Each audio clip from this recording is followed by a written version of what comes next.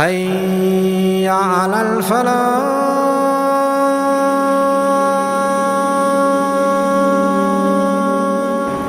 Hotuba yetu ya leo ndugu zangu, kwamba kupinga munkar, hii ndio hotuba yetu ya leo, ni majukumu ya wote. Kupinga munkari au kupinga yaliyokuwa maovu ni majukumu ya watu wote. Mada hii naizungumzia kutokana na vikao vingi vilivyofanywa wiki hii kutokana na janga hili ambalo limeenea duniani, na ikiwa mojawapo ni nchi zetu hizi pia, la kutaka kuenezwa LGBTQ, mfumo kamili wa kuwapa nafasi wanaume wake. Manake kuna bwana mmoja alikuja akanipa raya, akaniambia shekhe, yale maneno usiyataje waziwazi, kidogo yafinike finike. Sasa mi sijui nifinike vipi, lakini kuhusu wale watu wanaofanya machafu na wanawake kwa wanawake na kwa wale wanaotaka kujigeuza, haya yawe ni mambo katika maisha yakubalike. Hawa ni binadamu, yani kwa mtazamo wao wapewe hukuku zao. Hawa watu nyuma ya mfumo huu wataka nini? Huu ni mfumo wa kisheitani, huu ni mfumo unaokwenda kinyume na matakwa ya Mungu na maumbile ya Allah subhanahu wa ta'ala alivyoumba wanadamu. Allah alimuumba Adam kwanza lakini hakumuumba Adam mwenzake, alimuumbia Hawa. ya ayuha nnas ittaquu rabbakum alladhi khalaqakum min nafsin wahida, enyi watu. Mungu kwenye Qur'an anasema enyi watu, mwogopeni mola wenu aliyewaumbeni nyote kutokana na nafsi moja ambaye ni Adam. wa khalaqa minha zawjaha, kisha akamuumba kutokana na yeye Adam mkewe ambaye ni Hawa. wabatha minhuma rijalan kathiran wa nisaa, na Mwenyezi Mungu akawaeneza kutokana na hawa watu wawili Adam na Hawa. Sikilizeni, rijalan kathira, wanaume wengi, wa nisaa. Hivi ndivyo Mungu alivyotaka, na kubaki nau sampuli ya huyu mwanadamu duniani leo ni kwa sababu ya huyu mwanamke na mwanamume. Allah aliweka kitu kinaitwa ndoa, kinaoruhusu baina ya mke na mume wawe pamoja na watende tendo lile kwa halali, kwa nidhamu alizoweka Mungu, kisha kuzaliwe wanadamu, ndio tunge sisi leo duniani. Huu ni mpangilio wa Allah. Sasa hawa wanakuja na kitu ambacho kinakwenda tofauti kabisa na maumbile. Jambo hili halikubaliki kwa wenye akili zao, licha ya wenye dini. Hata wenye akili hawezi kukubali jambo hili, bali hata wasiokuwa na akili, hata wanyama kwa maumbile yao ya kunyimwa akili, lakini hili halifanyiki kwao. Punda mume hampandi punda mume, wala mke hampandi mke mwenzake.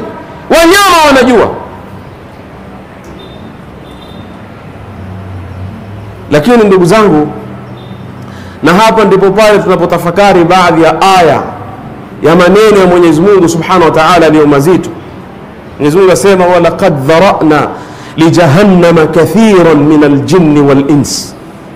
Sikizeni maneno ya Allah Subhanahu wa Ta'ala tumeuandaa ule moto kuwaandalia wengi katika majini na binadamu. lahum qulubun la yafqahuna biha, wana nyoyo lakini hawazingatii kwazo. walahum ayunun la yubsiruna biha, wana na macho lakini hawaoni kwa macho hayo. walahum adhanun la yasmauna biha, na wana masikio pia. Kina nani hao walioandaliwa moto katika majini na binadamu? Wana na masikio lakini hawasikii kwayo hao masikio.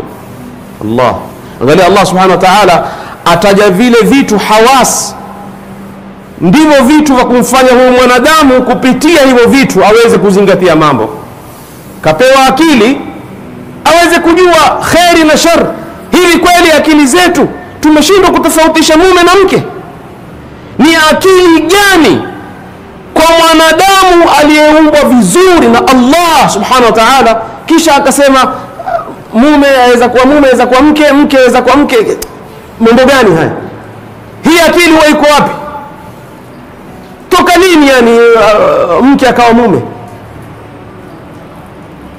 Lahum qulub, lakini hizo nyoyo walizopewa na akili hawazitumii, na wana macho hawaoni, na masikio hawasikii.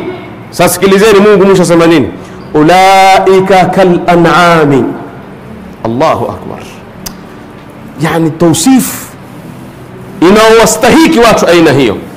Asema ulaik, watu hao kal an'ami, ni kama wanyama. Haitoshei hapo, sikilizeni neno la mwisho, bal hum adall, bali wao ni wapotevu zaidi hata kuliko wanyama. Ndio hawa ninaowaita kuwa ni mashetani, ni kundi la mashetani wanaotaka kuleta nidhamu na system na uharibifu na ukorofi na ufisadi katika ardhi hii ya Mwenyezi Mungu Subhanahu wa Ta'ala, kwa lengo tu la kueneza ufisadi na uharibifu, ndipo wakaja na mambo kama haya.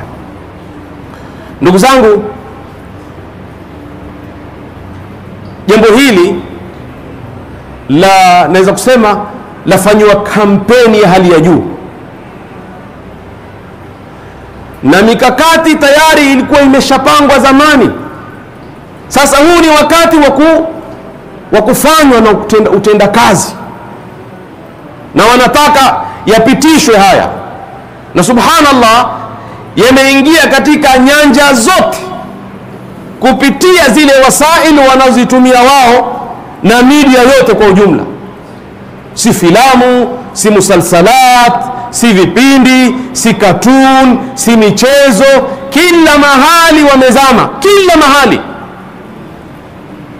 So wameanzia kwenye itikadi za watu, education, kila mahali, na zaidi wao wanalenga watoto wetu, ili haya yakishapitishwa katika masomo yao, mtoto wa miaka miwili ajua uhanithi ni nini ama ulanisi, ajua mke kwa mke ni nini, kutoka na miaka miwili mitatu minne mitano, akiwa mkubwa kwake hili litakuwa ni jambo la kawaida, na hivyo ndivyo wanavyotaka wao, na huku ndo kumaliza mujtama.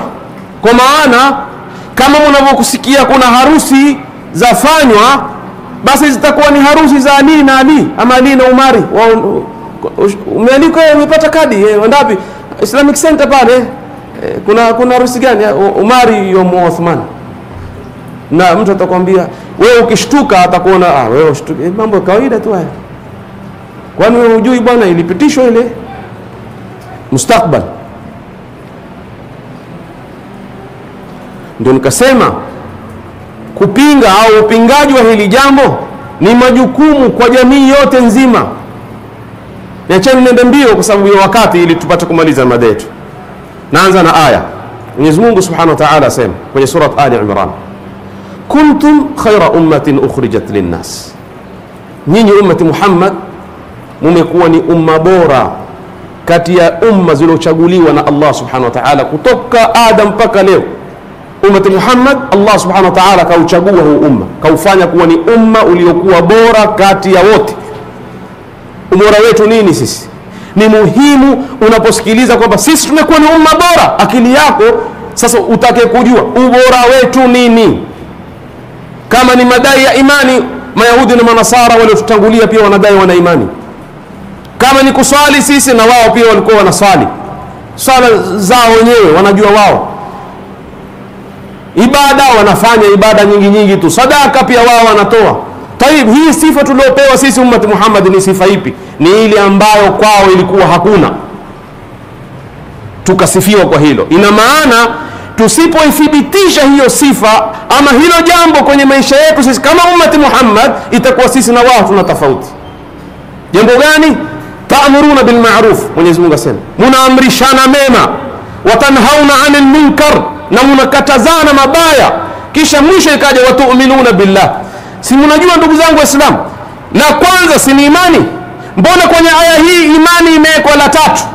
Si kwa sababu eti imani haina umuhimu ni kwa sababu kuamini wote wadai hayo na yote yakipatikana kwao sawa iwe ni imani ya kweli au ya batili lakini hili la kuamrishana kwao halikuwepo. Sisi tukasifia ummati muhammad kuwa ni umma bora sababu ya kuamrishana mema na kukatazana mabaya na ukitaka kujua kuwa kwao hili halikuwepo na waregesha tena kwenye qurani mwenyezi mungu subhanahu wa taala asema luina ladhina kafaru min bani israil wamelaaniwa kulaaniwa ni kuwekwa mbali na rehma ya mwenyezi mungu subhanahu wa taala wamelaaniwa kina nani makafiri katika wana wa israili mayahudi na manasara luina alladhina kafaru min bani israil ala lisani daud wa isa bn maryam.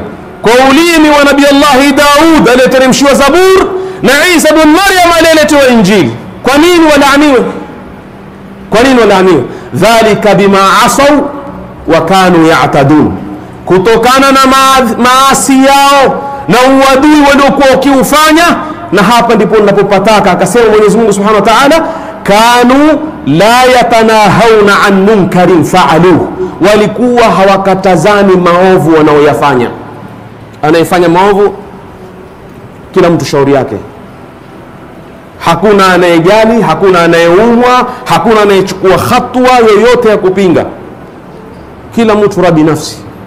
Kanu la yatanahauna an munkarin faaluh walikuwa hawakatazani maovu wanaoyafanya. Mwenyezi mungu asema la bisa ma kanu yafalun. Ni uovu mkubwa mno.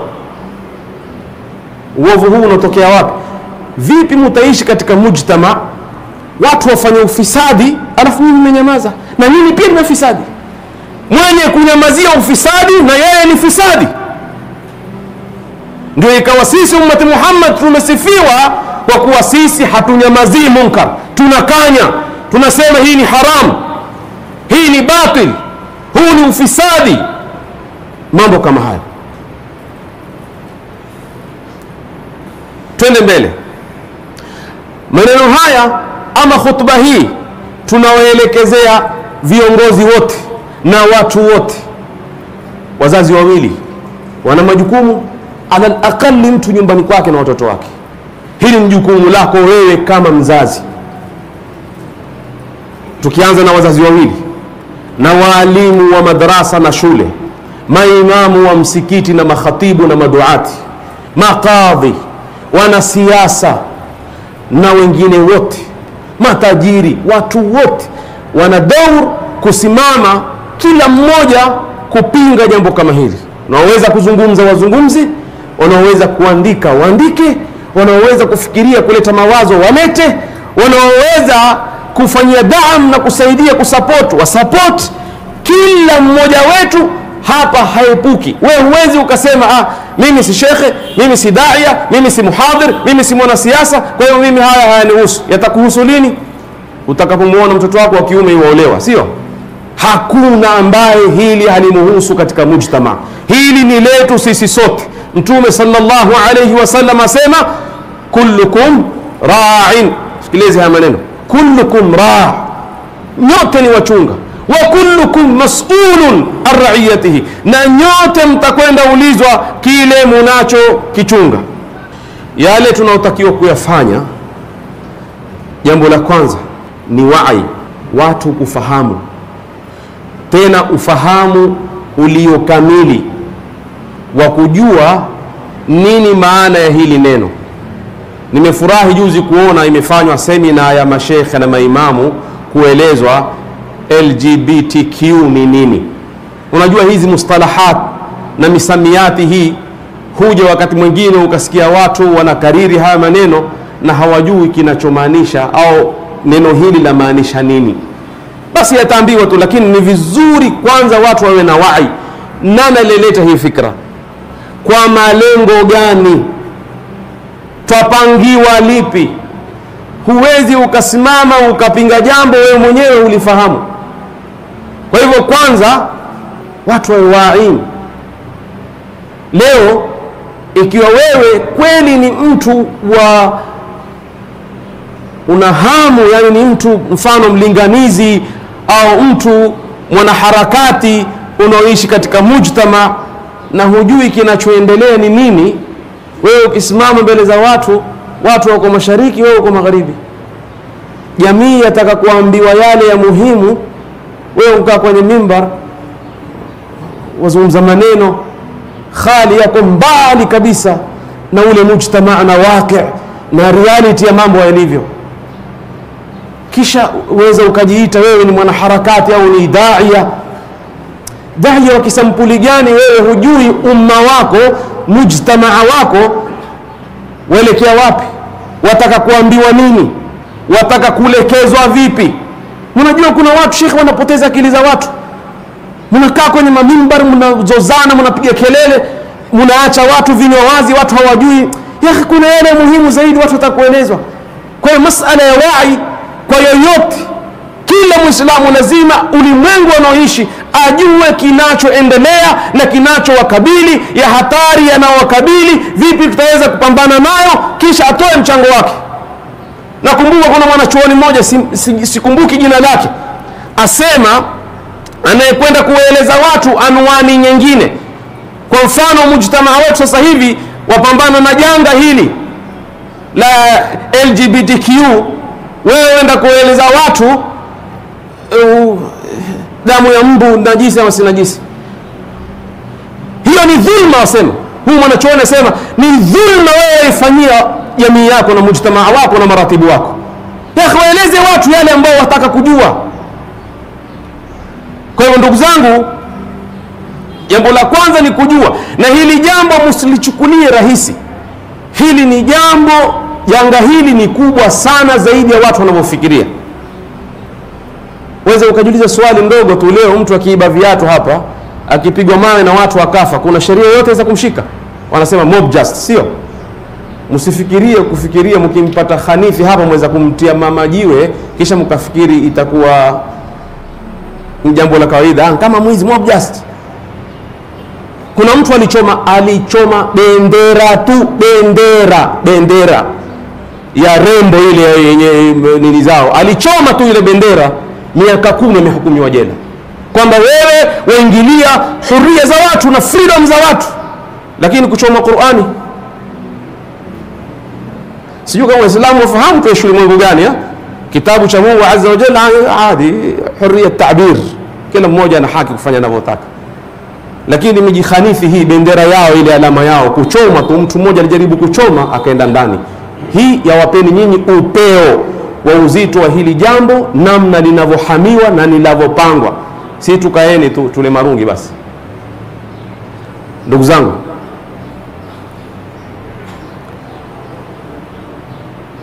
jambo la pili ni kujaribu kueleza kwanza madhara yake. Acha watu wajue hatari ya hili jambo. Hili jambo madhara yake duniani na akhera ni kwamba kwanza sisi twakalib mawazin twabadilisha mpangilio wote wa maisha hebu nataka hebu tasawaru yani leo. Imagine tu wewe. Nitakalolizungumza usistajabu kusema hilo haliwezekani. Tasawar kwa akili yako tutwaishi katika nchi hii. Kiongozi wetu nitaje lile jina ama sitaje? Ni yule kina fulani. Dede sio ama nini? Maanake nataka kukimbia hili neno ambalo waambiwa msitaje taja lakini mshafahamu huyo ndio rais wetu. Mlanisi rais na mawaziri na waalimu wa madarasa na imam. Hal tastaghrib? Imam. La tastaghrib. Kesho imam gay anakuja kuswalisha hapa. Adi mش mushkila. Hebu tasawar hebu tutakuwa tunaishi katika dunia gani sisi? Viongozi wetu maimamu wetu waalimu wetu nani we jamaa ni madera tu hapo hebu, hebu wewe fikirie kwa akili yako itakuwa twaishi kwenye dunia gani sisi? Ghiabul qiyam wa din, huko ndiko kupotea dini na maadili. Hakuna maadili. Leo wewe ukimwona mtu wa aina hiyo umefuatana na mama yako wasikia haya kumwangalia mtu wa aina hiyo na mama yako. Waona haya. Lakini yatakapokuwa ni mambo ya kawaida pengine wewe na mama yako na baba yako mtahudhuria kwenye hiyo harusi. Na ndivyo wanavyotaka wao. Kwa hiyo maadili na dini itapotea kwenye maisha ya watu. Na ufisadi utaenea. Na maradhi ya kila aina ambayo hatuyajui kina ukimwi si umejulikaniwa yatakuja na mengine ambayo hayajulikaniwi yatakuja baada ya ada hii potofu mbovu chafu ambayo itaingia katika mujtama. Kila aina ya maradhi yatakuja. Na baada ya hapo ndugu zangu tushapoteza mustakbal ni laana. Watu kuwa mbali na rehma ya allah na baada ya laana ni adhab. Wa adhabu alakhirati ashaq. Ni maangamivu na adhabu na adhabu ya akhira ndiyo mbaya zaidi na kali zaidi. Mwenyezi mungu subhanahu wa taala asema waidha aradna an nuhlika qaryatan amarna mutra fiha fafasaku fiha fahaqa alaiha alqaul fadammarnaha tadmira. Mungu asema tukitaka kuangamiza kijiji nchi mji wapi tukitaka kukiangamiza huwaamrisha wale waovu wao. Na hii kuwaamrisha hapa haina maana kwamba mungu huwaamrisha kinaya chake ni kwamba mungu huwafungulia istidrajan akawapa mali na kila kitu mpaka wakasahau kwamba wao ni waja wa mungu kwa kibri walichonacho, wakafanya uharibifu wakafanya ufisadi wakafanya ufiski kisha mwenyezi mungu asema fahaqa alaiha alqaul wakastahiki adhabu ya allah tukawaangamiza. Nyinyi maona ni mbali. Hiki ni kisia unajua jamani. Sikwambii kenya mi nakwambia mombasa tu kwa mungu akitaka kun fayakun hapa mkifanya oh, shoga na nini uba, na mabango wao tunataka haki zetu na nini? Bahari kwa hapo tu shekhe la mungu atuhifadhi akhi, lakini wallahi twenda vibaya tuko vibaya kweli yani. Yani mpaka sangine watamani tu kama kiama kije mara moja mambo yamalizike tukasikia hukumu ya mungu kesho. Nilisoma kitabu kimoja asema utakuja zama yule aliye hai atakwenda kwenye kaburi amwambia yule maiti natamani ingekuwa mimi mahali pako. Nilikuwa nikiona kama khayali lakini naona kweli tuwafikia haya mambo shekhe. Una faida gani uishi kwenye dunia? Barobaro uliomzaa kwenye harusi ukifurahi kwamba atakuwa ni barobaro awe daia awe mfanyi biashara akulegezea mkono kupita mbele yako. Una maisha gani wewe? Barobaro wako. Au mtoto wako hakika kuingilia na binti mwenzake wafikiri marafiki kumbe ni misago wenyewe wewe una maisha gani utaishi? Hebu niambie. Hiyo chai itakushuka kweli? Lakini ikiwa yamekuwa mambo ya kawaida pengine utashirikiana na wao kula gati pamoja. Hadi jambo la mwisho ilikuwa si la mwisho saraha lakini nitalifanya la mwisho kwa sababu ya wakati. Alwiqaya. Sisi waislamu leo tumekuwa kama wazima moto. Wazima moto hungoja moto ukiingia wapigiwe simu ende wakazime. Hatuna mipango ya kuzuia ule moto usiingie. Sasa mimi nasema jambo hili ni lazima tuwe na kinga. Kinga hii itatutaka sisi kwanza tushirikiane na ndio sumu ya waislamu wa leo hili la kushirikiana. Wewe ukitaja tu tuweni kitu kimoja kuna watu tayari huyu atakuambia watu wa kitu kimoja. Mupende msipende ndilo jambo litakalotupa sisi nguvu la kuweza kufanya mambo yetu yote yafanikiwe. Mukubali msikubali huo ndio ukweli. Mkisema kila mmoja atafanya kivi yake tutapondwa mpaka mwisho. Kwa hivyo umoja hapa na kushirikiana ni muhimu. Beina ya wasomi viongozi mashekhe maduati wataalamu wazazi wote washirikiane kwa umoja wao. Twataka hili jambo lisiingie katika mujtamaa wetu. Na hii ndo inaitwa takafulu ijtimai kuleana. Sote tuwe ni famili moja. Mwenyezi mungu kwenye qurani asema innama lmuminuna ikhwa. Sote tuwe ni familia moja. Tushirikianeni sote kwa jambo kama hili. Jambo lingine lazima hili jambo lifanyiwe utafiti wa hali ya juu watu wajue tutafute hata wataalamu ambao wataweza kushirikiana na sisi katika yale tutakayoyapanga. Kwa mfano hizi uh, multaqayat youth camp mathalan event mbalimbali zifanyike mihadhara maconference waletwe wataalamu kama walivyokuja wataalamu wakati wa drug drugs hivi walikuja wataalamu wakitufundisha sisi mtawahami vipi watoto wenu na mtajuaje kama wameshaanza haya mambo? Wengine ukwambia ukimwona macho mekundu basi ujue labda hiyo ni bangi.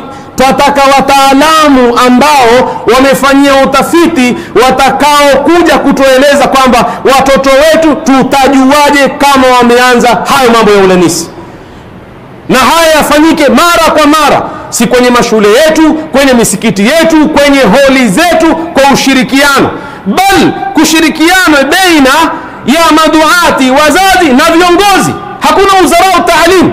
Mawaziri wa elimu wote washirikishwe kwenda kutufanyia utafiti watoto wetu mashule wafundishwa na manhaji ipi. Selebas yao masomo twafurahi wallahi lazima tulitaje kwamba tanzania wameban vitabu karibu aina nane vinavyofundisha ulanisi kwa watoto wao na wametoa hukmu ya yoyote atakayeshikwa ni katika watu hao miaka 30 kwa uchache kaegela hili la kufurahisha na kuwapigia salut wa tanzania. Twatamani na sisi kama tutapata viongozi watoe sauti kama hizo. Nasema hivi kwa sababu najua hili halipingwi na waislamu tu. Hata rais wetu hili amelikataa. amelika hata usiokuwa waislamu wengi hawalitaki hili. Kwa hiyo tukiweza kushirikiana kwa pamoja hili jambo tutaweza kulipinga na hiyo itakuwa ni wikaya ni kinga kwa watoto wetu. Wa kul imalu fasayara llahu amalakum wa rasuluhu walmuminun kupingwa ni lazima. Tupinge kupitia wasail zote. Kuna watu waweza kutembea wakapinga watembee. Tunaona leo watu hufanya walking za valentine walking za kusaidia mayatima walking za na walking nyingine hazifai. Walking inayofanywa kwa sababu ya Christmas.